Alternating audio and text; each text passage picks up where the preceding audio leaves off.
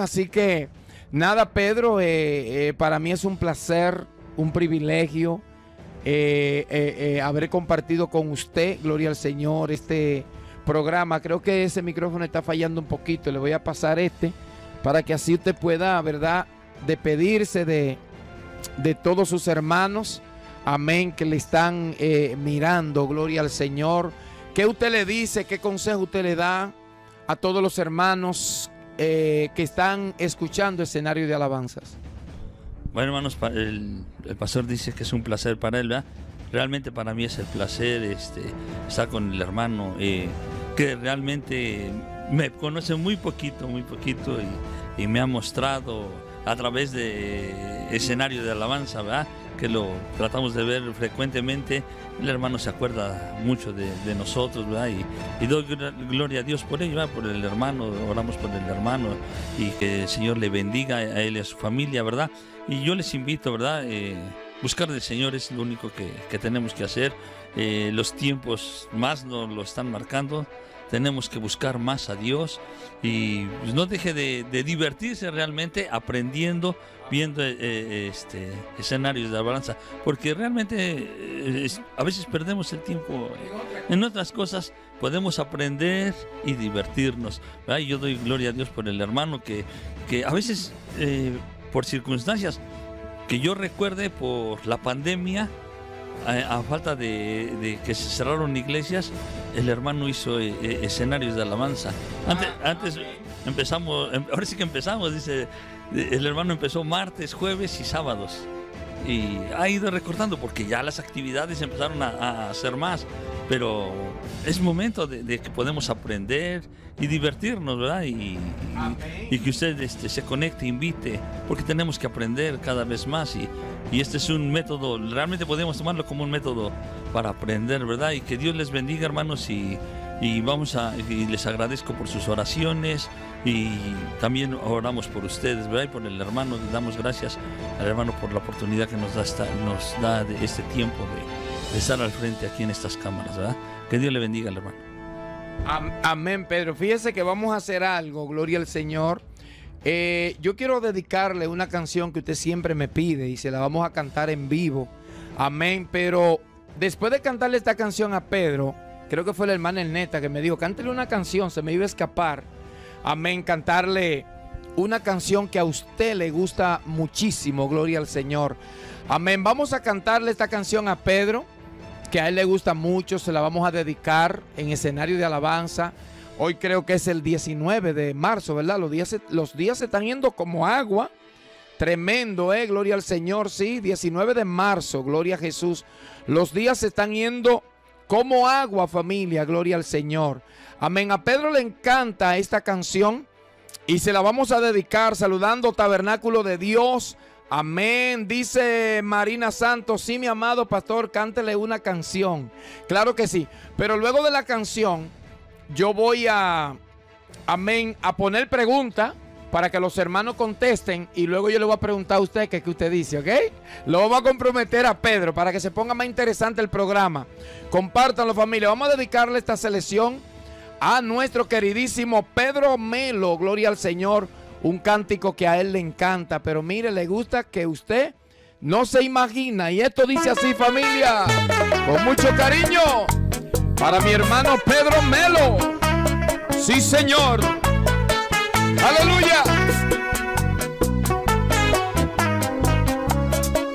Hoy he venido a confesar con mis labios que no merezco todo lo que me has dado, merezco seguir siendo hijo tuyo, que en mi rodilla se ha quedado el orgullo y la arrogancia se ha acabado llorando.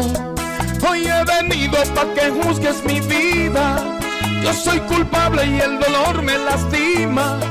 Yo fui quien le abrí las ventanas al mundo. Yo fui quien me olvidé del camino tuyo. Y he pecado y me echo a mí mismo una herida. He venido porque alguien me comentó y me dijo que había un abogado entre tú y yo que defendía con sangre cualquier acusación y con esa esperanza yo he venido ante ti. Hoy te invoco Jesús de Nazaret porque leí en la Biblia que moriste por mí. Por favor dile al Padre que se apiaden de mí y me limpie la vida como al leproso aquel. Que ya este llanto se me terminó, conscientemente cometí un error, que no le pienso volver a fallar, que me quiero volver a levantar. Dile que he pagado caro mi error he intentado marcharme y no hay lugar a donde yo seguro puede estar, sino al abrigo de ti, mi Dios. Clama por ti, de Señor, porque tú eres mi abogado especial. Pedro me lo dile, defiéndeme, defiéndeme, Señor, acuérdate de ti, hombre pecador, defiéndeme Defiéndeme, Señor, acuérdate de ti, hombre pecado.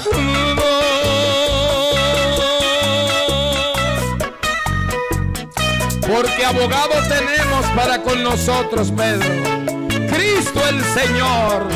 Gózate, Pedro Melo. Tu siervito lindo. Para toda mi gente de Tulancingo, Hidalgo,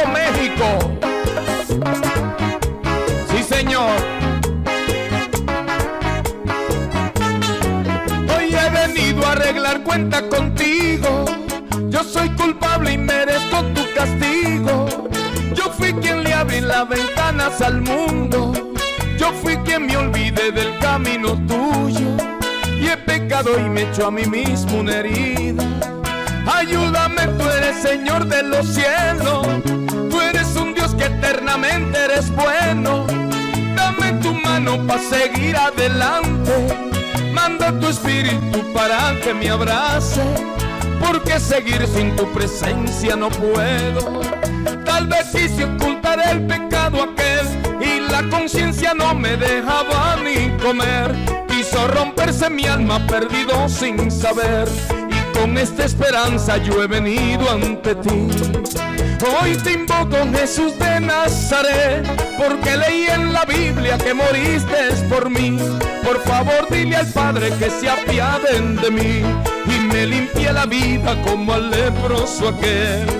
Que ya ese llanto se me terminó, conscientemente cometí un error, que no le pienso volver a fallar, que me quiero volver a levantar que he pagado caro mi error, que he intentado marcharme y no hay lugar a donde yo seguro puede estar. Si no vamos al abrigo de mi Dios, clama por mí ante tu Padre Señor, porque tú eres mi abogado especial. Defiéndeme, defiéndeme Señor, acuérdate de este hombre pecador Defiéndeme, defiéndeme Señor, acuérdate de ti hombre pecador. Defiéndeme, defiéndeme Señor, acuérdate de ti hombre pecador. Defiéndeme, defiéndeme Señor, acuérdate de ti hombre pecador. Abogados tenemos para con nosotros. Cristo el Señor. Amén, Pedrito. Qué lindo es cantarte esa selección musical, ¿verdad? Amén, defiéndeme. Pedro, vamos a hacer un par de preguntas. Amén. Saludamos a Dalila eh, López. Dalila eh, López está en Tabasco, México. Gloria al Señor. Dalila López, bueno, le gustó Defiéndeme, ¿verdad? Se la dedicamos a... ¿Le gusta esa canción, Pedro? Amén, me gusta esa canción. Qué lindo, pero Pedro, hay gente que, hay cristianos que no le gusta la bachata cristiana. Está buena, está buena la bachata. a, Pedro Melo sí le gusta la bachata. Dice el pastor Charlie, Charlie Díaz, Dios te bendiga. Mi hermano Charlie, Dios te bendiga, pastor, un abrazo. Tenemos a Pedro Melo.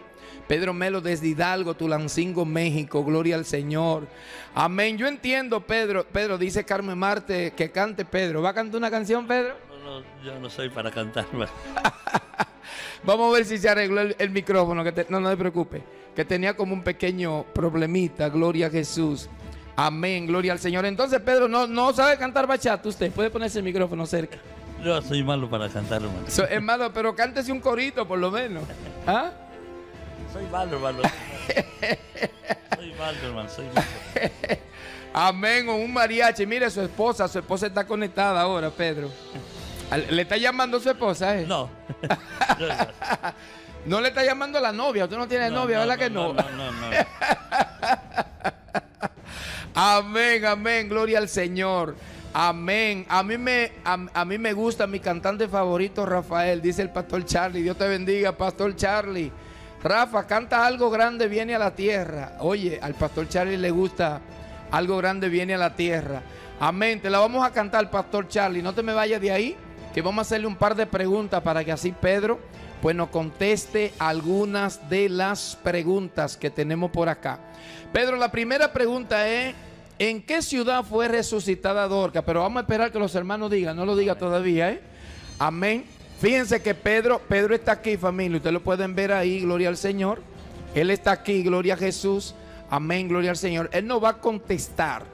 Eh, Pastor Charlie, no te me vayas, ya mismo cantamos algo grande, viene la tierra para cerrar el programa. Amén. La pregunta es, familia, la pregunta, ¿en qué ciudad fue resucitada Dorcas? ¿En Jope, Corinto, Derbe o Colosas? A ver qué dicen ustedes, familia. Vamos a darle rapidito. Amén, para que luego Pedro Melo nos diga qué dice él. Y yo lo estoy chequeando aquí, que no le pregunte a Siri ni la busque en, en YouTube, en Google. Gloria al Señor. Saludamos a Judy Liriano. Judy Liriano, te bendigo, Judy Liriano. Gloria al Señor. Amén. Eh, ¿En qué ciudad fue resucitada Dorca? ¿En Jope, Corinto, en Derbe o Colosas? Dice Josué Ferrer y Araceli que fue en Jope. Dice Josué Ferrer y Araceli que fue en, en Jope. Emma Paulino dice que fue en Jope que Dorcas fue resucitada ya que Pedro andaba por esa zona. Amén. Dice Marina Santos que fue Jope. También Carmen Marte dice que en Jope. Ernesta Rodríguez también dicen. Todos dicen que fue en Jope, Pedro. Todos dicen que fue en Jope que Dorca resucitó. Gloria al Señor. Gloria a Dios. Amén. Vamos a chequear, vamos a ver. Amén. Todos dicen que fue en Jope. Gloria a Jesús. Amén. ¿Dónde fue Dorca resucitada? Vamos a chequear. Gloria al Señor. A ver qué dicen ustedes. La mayoría, Jessica Rodríguez, María, María Pérez, Karen Budil, dicen que fue Jope. Bueno, todos dicen que fue en Jope. Y yo también pienso, Pedro, ¿qué usted piensa, Pedro? ¿Dónde fue? Dígalo. En la, póngase el micrófono en la boca y diga. En Jope. ¿Fue en Jope? ¿Usted está seguro? Sí. 100%. Sí. ¿Ah? Sí. Fue en Jope. Ok, pues va- vamos a revelarla. Entonces, si usted dice que fue en Jope, amén. Vamos, vamos a ponerle a Pedro ahí para que así. Miren, Pe- Pedro está aquí, mírenlo ahí. ¿Dónde fue Pedro entonces? En Jope. En Jope, que resucitaron Jope. a Dorca. Sí, Jope. Se- ¿Seguro? Sí. ¿No fue en Tulancingo? No. Fue en Jope. Amén, gloria al Señor. Bueno, Pedro dice que fue en Jope y la mayoría dice que fue en Jope. Y yo también digo que ella fue resucitada en Jope. Así que un aplauso para Pedro Melo y para todos ustedes. Está en el libro de los Hechos, en su capítulo 6, gloria al Señor, 9, verso 36. Amén. Una pregunta más. ¿Cuál era la nacionalidad del padre de Timoteo? No lo diga Pedro todavía. Vamos a esperar que los hermanos contesten. ¿Cuál era la nacionalidad del padre de Timoteo? ¿Era romano, griego, judío o samaritano? Pedro va a decirlo más adelante. ¿Cuál era la nacionalidad del padre de Timoteo? ¿Romano, griego, judío o samaritano? Vamos a ver lo que dicen los hermanos. Amén. Bonfilio Franco conectado. Pedro, envíele un saludo a Bonfilio Franco que estaba quebrantado de salud. Oh, sí. A su cuñado. Que Dios le bendiga. Ahora es mi cuñado, que Dios le bendiga, ¿verdad? Sí, su cuñado Bonfilio Franco. Ojalá y primero Dios ya. Ya salga pronto de- ya esté bien, ¿verdad? Sí, de- de- está en el hospital todavía, ¿no? Sí, de. Sí, amén. Vamos a seguir orando por nuestro hermano Bonfilio. Le pedimos la oración a todos ustedes. Nuestro hermano Bonfilio está en el hospital, pero sabemos Dios, primeramente Dios, Él estará pronto bien, con el favor de Dios. Amén. Amén, gloria al Señor. Dice José Ferrer que era griego. Jessica Rodríguez dice que era griego también. Amén. Dice Milagro Vargas que era griego. Emma Paulino dice que era griego. Arelis Aracena. Amén. Marina Santos dice que era griego. Ah, no, él no está en el hospital. Ya va un filio, está en su casita. Ya salió. Gloria al Señor. Qué bueno que ya va un fiesta en su casita. Vamos a estar orando por él para que el Señor me le siga dando salud a nuestro hermano Bonfilio Franco. Karen Budil dice que era griego. María Pérez también dicen que era griego. Bueno, todos dicen que era griego. ¿De dónde, de dónde era eh, el papá de Timoteo? ¿Usted sabe, Pedro? ¿De dónde era? Era griego. ¿Era griego? Era Eh, griego. ¿Estás seguro? Estamos seguros que era griego. ¿No, ¿No era judío? No, no era ¿No? judío. Ok. Pues si te dice que no era judío, entonces vamos a, vamos a revelar a ver de dónde era, amén, el papá de Timoteo. Yo también digo que era griego, era griego el hombre. Amén. Hechos capítulo 16, verso 1. Ya lo saben que el papá de Timoteo era griego, como dijo Pedro Melo y todos ustedes. Una pregunta más para así entrar en la canción Algo Grande viene a la tierra. ¿En qué libro se narra la historia de la viña de Nabot? Wow, este está fácil, Pedro, pero no lo diga todavía.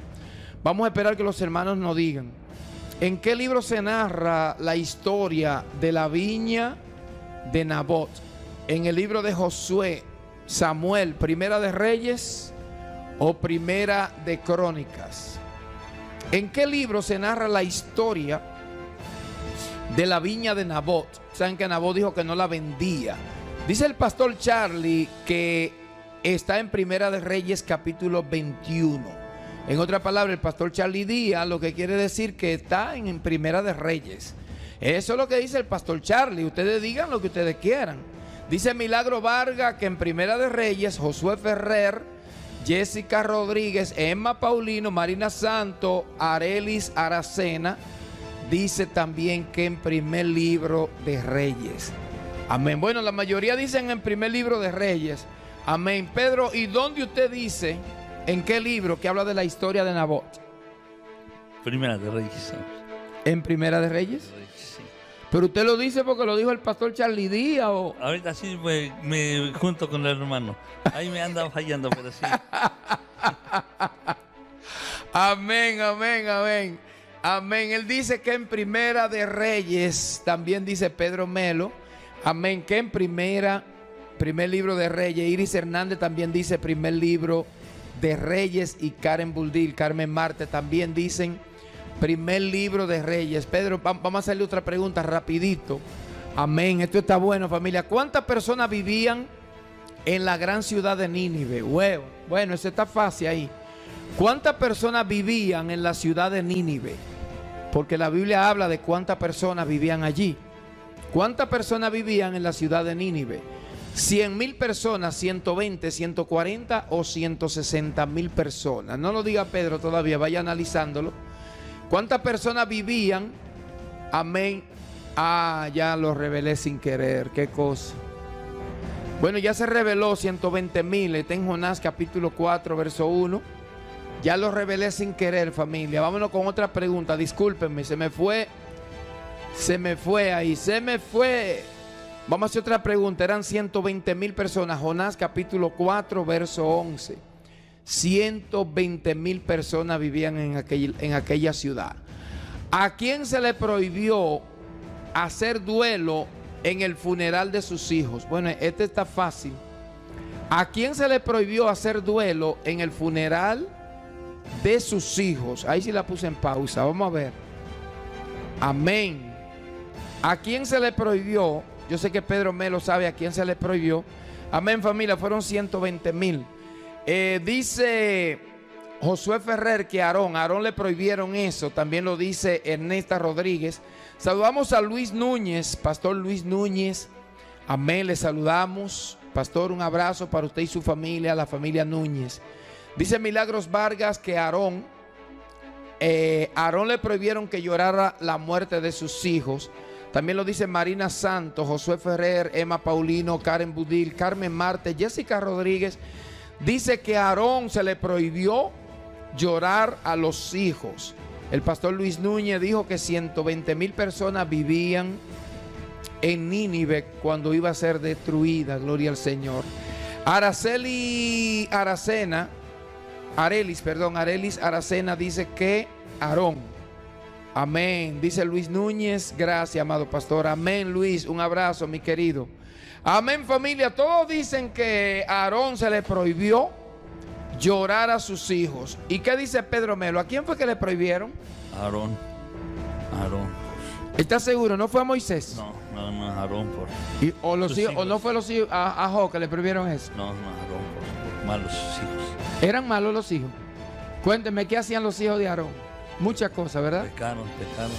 Se pusieron a, a- a poner un fuego ahí raro, ¿verdad? Eh, Incienso, eh, fuego extraño. Un fuego extraño. Es decir, que las cosas extrañas a Di- a Dios no le Lo que agradan. no mandó. Lo que no mandó. Lo que no mandó el Señor no hay que hacerlo. Amén. Entonces, si, si yo me voy a, a un lugar donde hay guerra, pero el Señor no me está mandando, me puede pasar algo en esa guerra, ¿verdad? Si yo me meto ahí adentro, está- están tirando disparos ahí. Y yo me meto ahí porque le sirvo a Dios y Dios me va a cuidar. Pero Dios no me- Dios no me mandó. No, si no lo manda, no. Ya si lo manda, sí, pero si no lo manda, no. ¿Eh? Si Él me manda, no hay problema. Sí. Exactamente, y ese fue el asunto de los hijos de Aarón. Entonces yo creo que todos contestaron correctamente. La respuesta es, a Aarón le prohibieron. El Señor le dijo a Moisés, dile a Aarón que está prohibido que llore a sus hijos. Bueno familia, para cerrar alegre, el pastor Charlie Díaz, muchísimas gracias a todos ustedes, eh, familia de Dios, por, por darme eh, este privilegio de tenerlos a ustedes ahí, también a Pedro Melo, amén, que ha venido a, a estar con nosotros, gloria al Señor, desde Tulancingo, Hidalgo, México, gloria a Dios. Amén. Y verdaderamente, Pedro, eh, esta gente te quiere muchísimo. Amén. Y yo quisiera cantarle esta canción que me la pidió el pastor Charlie Díaz. Charlie Díaz, gloria al Señor. Y con esto, familia, no despedimos. Esperamos de que sea de bendición. Aleluya. Para ti, mi amado Pedro Melo. Y esto dice así. A ver con su palma. Eso. Tu siervito lindo. Mucho cariño para mi hermano Pedro Melo. Las cosas están cambiando. Hay mucho cambio en el mundo.